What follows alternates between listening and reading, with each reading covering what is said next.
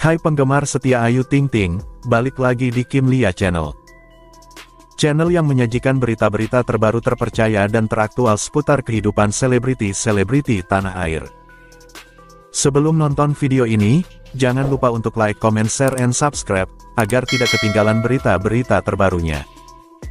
Dan jangan lupa juga untuk tonton video ini sampai akhir, agar tidak terjadi kesalahpahaman.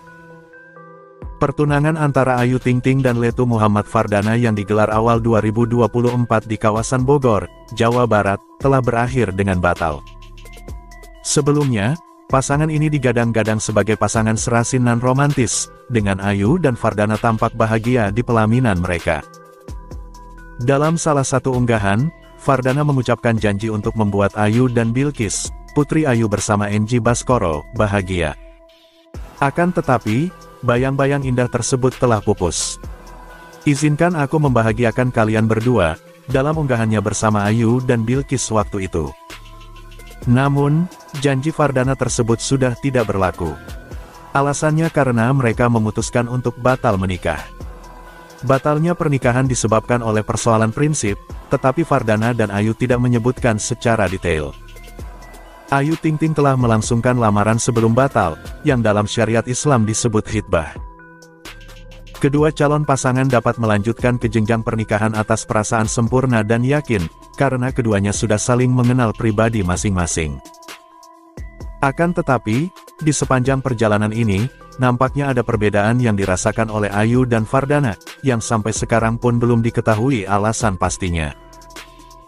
Dalam beberapa artikel, Ayu Ting Ting sempat berencana mengembalikan mahar lamaran yang telah diberikan Letu Fardana, namun dilarang oleh ayah Letu Fardana Rezeki Ayu. Kisah percintaan Ayu Ting Ting kembali tak berbuah manis, dan janji Fardana sebelum batal nikah tidak berlaku. Keduanya kini melanjutkan kehidupan masing-masing. Ayah Letu Fardana, Darshi Akib, mengatakan bahwa hubungan mereka dengan keluarga Ayu Ting Ting tetap baik, walaupun hubungan mereka sendiri telah berakhir. Ayu Ting Ting sendiri mengatakan bahwa hubungan dengan ayah Muhammad Fardana masih baik-baik saja dan tidak ada komunikasi yang terputus. Kedua keluarga pun sudah sepakat mengakhiri rencana pernikahan ini. Enji Baskoro ngaku sudah punya firasat soal Ayu Ting Ting dan Letu Fardana yang batal nikah. Kecurigaan Enji Baskoro itu bermula saat Ayu Ting Ting lamaran dengan Letu Fardana. Lantas bagaimana pengakuan Enji Baskoro? Seperti diketahui, Enji Baskoro adalah mantan suami Ayu Ting Ting. Dilansir dari Kompas.com, Enji Baskoro dan Ayu Ting Ting resmi menikah pada 2013 lalu. Dari pernikahan itu, keduanya dikaruniai seorang putri bernama Bilkis Humairah Rasak.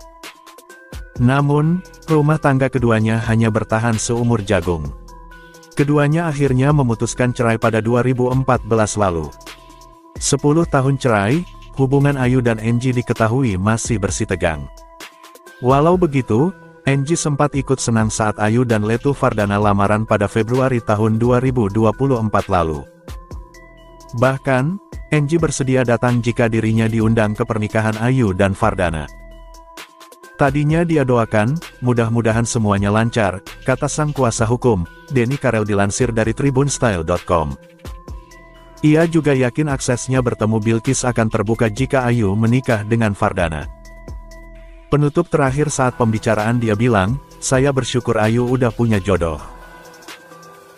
Saya juga punya akses satu lagi untuk berkomunikasi dengan Bilkis lewat calon suaminya, ujar Denny Karel dikutip dari YouTube Intense Investigasi, Jumat tanggal 5 Juli tahun 2024. Namun dalam kesempatan itu, Enji meluapkan firasatnya terkait sang mantan.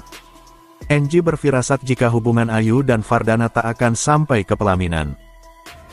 Tapi di akhir pembicaraan si Enji mengatakan, kok saya curiga nih bisa ke jenjang situ, pelaminan atau tidak, jelas Denny.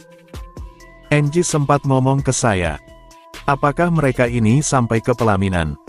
Enji sempat curiga apakah ini bisa berlanjut. Udah itu aja, tambahnya. Tak disangka, firasat Enji benar-benar terjadi. Ayu dan Letu Fardana kini dikabarkan putus sebelum sampai ke pelaminan. Denny pun mengaku tak tahu secara pasti alasan Enji mengucapkan hal demikian. Saya nggak tahu kenapa Angie bisa punya feeling nggak berlanjut ini, lanjutnya. Cuman kenapa feelingnya kayak gitu saya nggak tahu, belum menanyakan lebih lanjut, tandas Denny Karel. Seperti diketahui, Ayu Ting Ting memang sudah mengumumkan bahwa asmaranya telah berakhir. Ia mengaku sudah putus dari Letu Fardana pada tanggal 22 Juni tahun 2024 lalu. Saya memberitahukan bahwa pertunangan saya dengan Mas Dana sudah dinyatakan putus sejak tanggal 22 Juni itu di antara kami, ujar Ayu dilansir dari Kompas.com. Ayu mengaku tak bisa lagi mempertahankan hubungan asmaranya. Jadi di mana memang ada hal yang sangat prinsip sekali buat saya yang tidak bisa kami jembatani lagi satu sama lain gitu. Jadi cukup saya, Allah, teman-teman saya, keluarga yang tahu. Biarkan ini menjadi hal yang privasi, jelasnya.